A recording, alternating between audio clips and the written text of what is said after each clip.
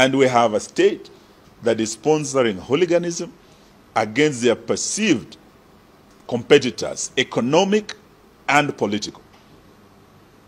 We believe the violence and hooliganism directed against Rigathi Gachagua is state-sponsored political hooliganism. We believe the arrest of Ben Data is again state-sponsored hooliganism, economic hooliganism, where people are being used, the police are being used to interfere in business transactions, to arrest an investor and paint him as if he is a criminal so that he falls out of the bid and advantage is given to a foreigner from Tanzania.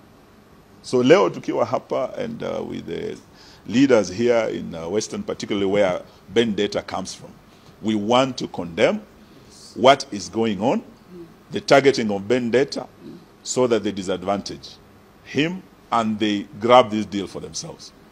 Tunajua wale wamehusika kutoka serikali hii wamekuwa na mikutano na huyu Mtanzania ili kumsaidia aweze kushinda. Uh, uh, Mheshimiwa Ruto is not a Democrat. In fact, ameanza kurudisha ile siasa ya udikteta. Yaani usipokuwa kwenye system, wewe ni adui wa the system. So you must be intimidated. And part of this is uh, through uh, ushuru KRA watu wanatumiwa uh, KRA to, to intimidate them. Part of it ni kutumia polisi especially DCI, na bwana Ben Deta amechukuliwa na rafiki zetu wa Subaru, na siku hizi ukiona Subaru ujue maisha yako yako hatarini. So what we have in Kenya is actually criminalization, actually weaponization of the criminal justice system.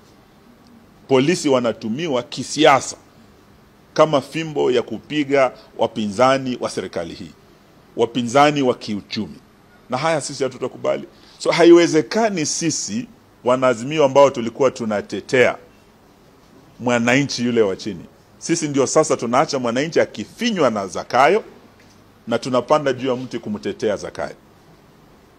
So nakubaliana na Bi Martha Karua na uamuzi ambao wametoa jana kama wanana Kenya eh, kujiondoa kwenye azimio kama DAP Kenya tuko na huo mwelekeo pia, na nishaidhinishwa kama kiongozi wa chama kuanza e, mikakati ya kuondoa DAP kwenye azimio, sababu yale tulikuwa tunaazimia kama muungano wa kisiasa sasa hayapo tena. Badala ya kutetea wananchi, kuokoa wananchi kutoka kwa Zakayo, wenzetu ambao tulikuwa nao azimio ndio wameingia serikalini kumwokoa Zakayo.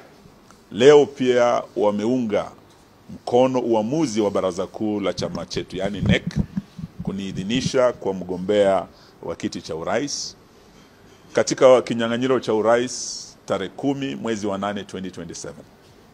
Hii ni heshima kubwa nimetunukiwa na hawa viongozi wa mashinani na viongozi wa chama chetu, na leo na